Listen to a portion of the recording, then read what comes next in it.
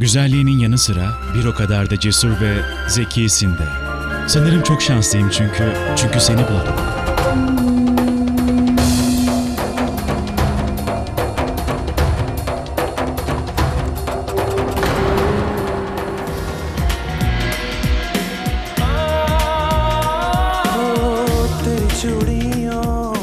Tapki, biliyorsun. Ben ne dersem diyeyim, ne yaparsam yapayım ben asla sensiz yaşayamam. Ben sensiz yaşayamam. Ben Tapki değilim. Ben Şankar'ım.